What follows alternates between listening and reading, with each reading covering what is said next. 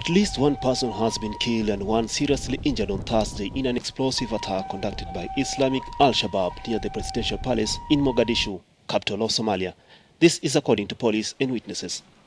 Approximately 10 missiles have been directed to the presidential palace and some of them have reached the building. The Al-Shabaab, who are affiliated to Al-Qaeda, have claimed responsibility for the attack in a statement published in some of their websites.